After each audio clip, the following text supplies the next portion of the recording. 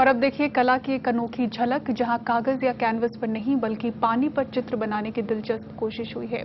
उदयपुर की अनोखी कला है, जिसे एक परिवार ने ज़िंदा रखा है।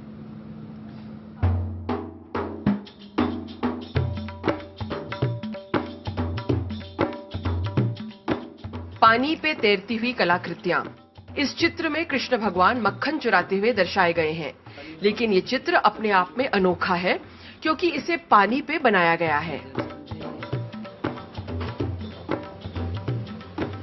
इस कला को सांझी कहते हैं।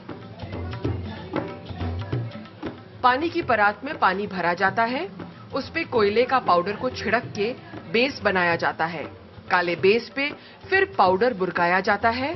स्टेंसिल के ज़रिए आकार बनते हैं और जब स्टेंसिल हटाए जाते हैं तो पानी पे ये रंग तैरते हुए नज़र आते हैं। कृष्ण जन्म से कंसवत तक लीलाएँ बनती है। कृष्ण जन्म से।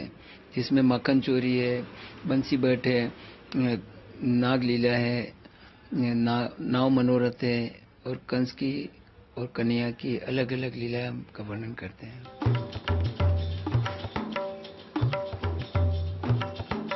साल में एक बार सिर्फ़ त्योहारों के मौके पे ये चित्र बनाए जाते हैं। 350 साल पुरानी इस कला को 18 पीढ़ियों से राजेश वैष्णव का परिवार करता आ रहा है। लेकिन ये धीरे धीरे लुप्त होती जा रही है।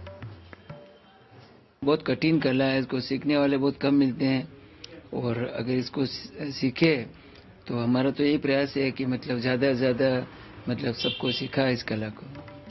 राजेश ने अपने दो बेटों को ये कला सिखा दी है लेकिन वो चाहते हैं सरकार भी इसे जीवित रखने के लिए कुछ ठोस कदम उठाए। उदयपुर से संजय व्यास के साथ हर्षा कुमारी सिंह एनडीटीवी इंडिया के लिए।